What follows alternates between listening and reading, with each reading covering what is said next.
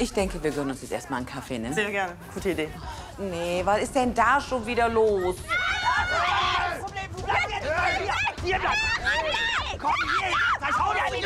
Was soll denn das, Mann? Warten Sie mal. Das sind die vier, die wir vorhin oben hatten. Eben.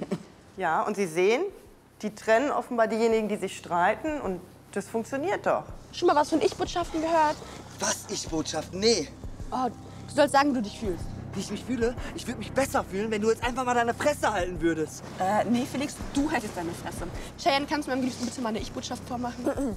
Ich fühle mich von meinem Bruder unterdrückt und wollte mich zur Wehr setzen. Danke. Ich fühle mich von meinem Bruder beleidigt und ungerecht behandelt. Und ich fühle mich von meinem Bruder alleine gelassen und im Stich gelassen. Und die Aktion am Sportplatz, ja meine Güte, voll übertrieben. Sie sehen es selbst, es funktioniert. Äh, hätte ich jetzt wirklich nicht geglaubt. Jetzt. Ähm, wo liegt denn der Ursprung des Streites? Ursprung, was für ein Ursprung? Junge, du sollst sagen, wieso ihr euch gestritten habt. Mein Gott, verstehst du eigentlich keinen Spaß oder was? Digga, bei mir hat der Spaß ein Ende, wenn du mich mit vollgekackten Windeln bewirfst. Oh, hat recht. Ich finde, du sollst dich entschuldigen. Dein Verhalten war unreif und kindisch. Äh, seid ihr jetzt eigentlich alle gegen mich hier oder was? Scheint so. Wisst ihr was, ihr könnt mich alle mal. Auch du, Alexa. Wisst ihr was, fuck all. Oh, mach Platz, Pferdemädchen, Alter. Jetzt hat sich sogar meine eigene Freundin gegen mich gestellt. Hat diese komische Psychotante meiner Freundin jetzt eine Gehirnwäsche verpasst? Ey, das funktioniert nicht, aber ist mir scheißegal. Ich lasse mir von niemandem was sagen. Die können mich alle mal mit ihrem kranken Psycho-Scheiß. Felix kapiert das einfach nicht. Durch sein Verhalten bringt er noch alle gegen sich auf. Ich habe eh schon die Schnauze voll. Und Alexa jetzt auch. Wenn er sich nicht zusammenreißt, dann steht er bald alleine da.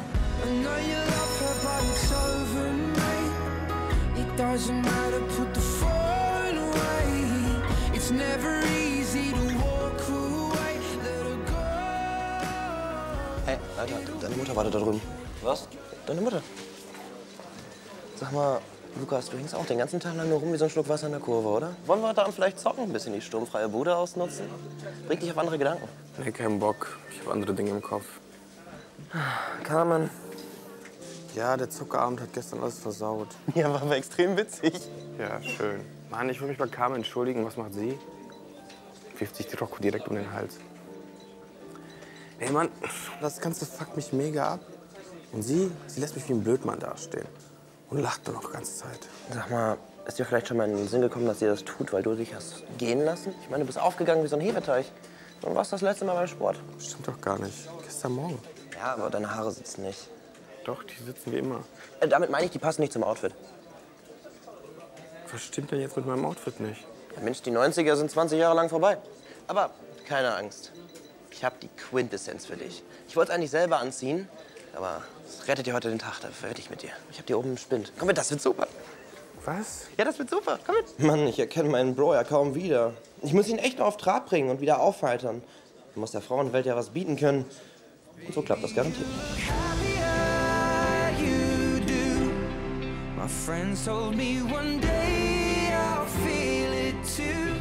Hey, Till, da bist du. Ich habe dich überall gesucht. Also raus mit der Sprache. Die ganze Geschichte mit deiner Mutter und dem Krankenhaus war ja schon mal gelogen.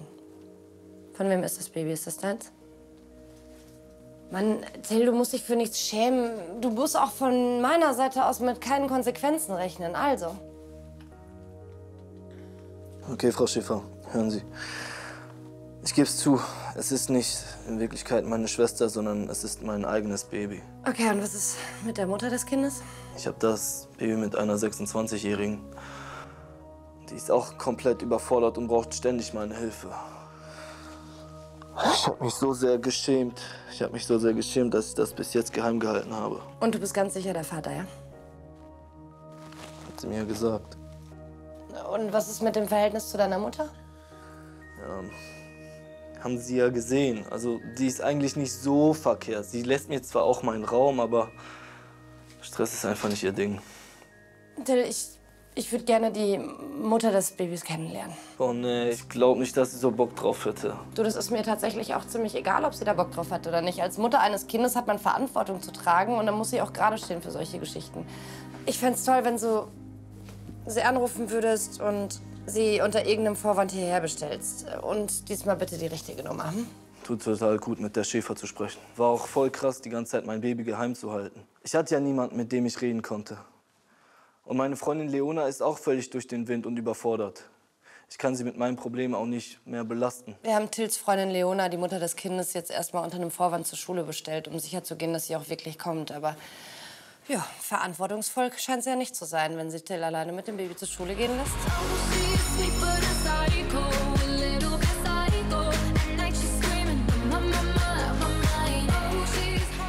Komm, komm, komm, komm, komm, komm, komm, komm, komm, komm, komm. Mal kurz aus dem Spind rausholen, guckt aber nicht rein, ist scheiße eklig da drin.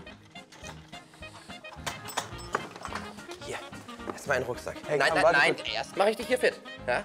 So, Rucksack. Und? Nur für dich? Das ist mein Lieblings-T-Shirt. Glaube ich sogar frisch gewaschen. Passt perfekt zu deiner Augenfarbe. Alter, Digga. Das ist nicht mein Style, Mann. Ich komme mir voll verkleidet vor. Na gut, dann habe ich halt noch einen anderen Plan für dich. Und zwar das hier. Digga! Bist du bekloppt? Das stinkt voll. Was ist das? Phero, Pheromone, das ist, wird bei Rindern benutzt, um die so richtig heiß zu... Ist auch egal, Frauen stehen da voll drauf. Komm, komm, warte, hey. Boah, du stinkst. Bah.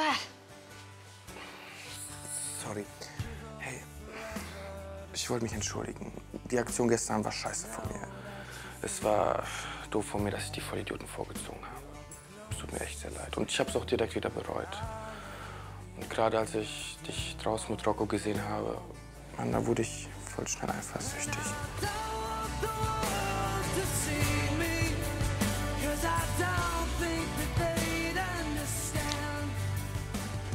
Du stinkst. Wir sollten nach der Schule echt zu dir nach Hause. Du brauchst eine Dusche. Ich kann Lukas einfach nicht lange böse sein. Und der ist einfach so süß, wenn er ein schlechtes Gewissen hat. Und gleich unter der Dusche, neue Chance, neues Glück. Ich sag's doch, Pheromone, die machen jedes Girl heiß. Was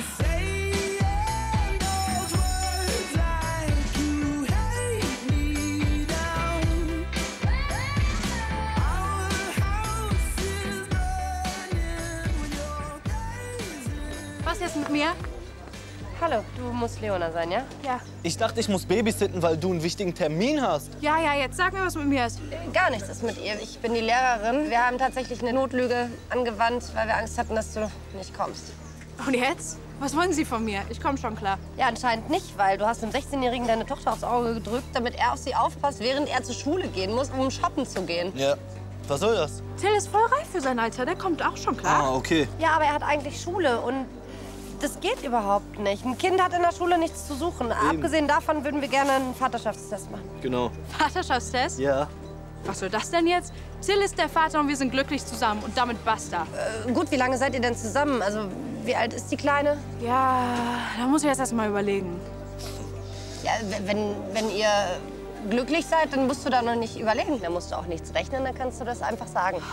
Okay, Till ist nicht der Vater. Was? Ja, wir hatten einen One-Night-Stand, aber Mia ist von dem One-Night-Stand vor dir. Was? Also, äh, ist er im Grunde genommen billiger Babysitter, oder wie sehe ich das? Guck mal, drei Stunden shoppen, ja? 30 Euro Babysitter. Kann ich mir nicht leisten, das ist viel billiger so.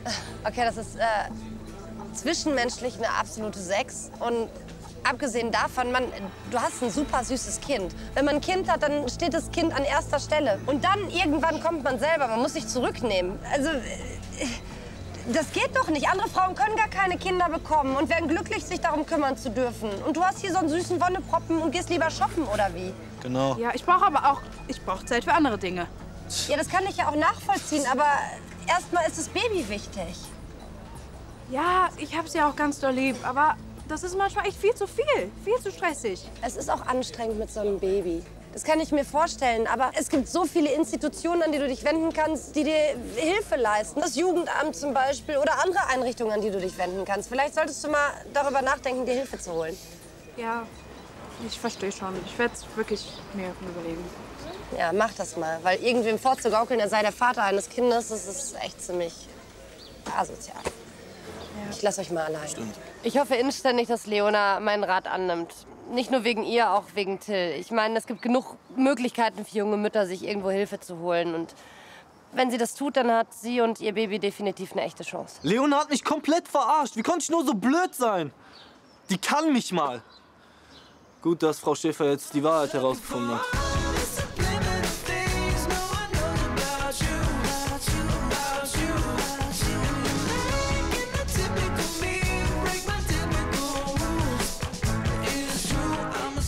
Was ist denn hier los? Hör mal, du weißt schon, dass du dran bist mit Wäsche waschen, ne? Hast du schon mal Wäsche gewaschen? Nee, hab ich nicht. Siehst du? Ab sofort wirst du jetzt deine eigene Wäsche waschen. Heute schaust du dir nämlich von der Waschmaschine mal die Knöpfe an. Ganz genau. Und die Aktion mit dem Willen war echt scheiße. Oh, jetzt entspann dich doch einfach mal. Aber wenn der verehrte Herr Bruder eine Entschuldigung haben möchte, dann kann er gerne eine Entschuldigung haben. Es tut mir von ganzem Herzen leid, mein Bruderherz. Weißt du was? Ich hab keinen Bock mehr auf dein Gelaber. Deine ganzen Entschuldigungen sind doch gar nicht mal ernst gemeint, oder?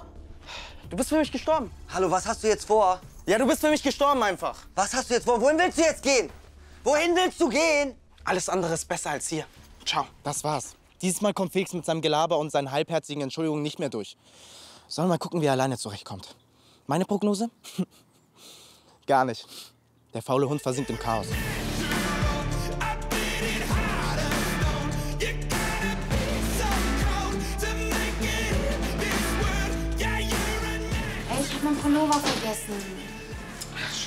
Mann. Ich muss duschen. Boah, ich stinke so mega krass von Tobias Pheromonen. Shit.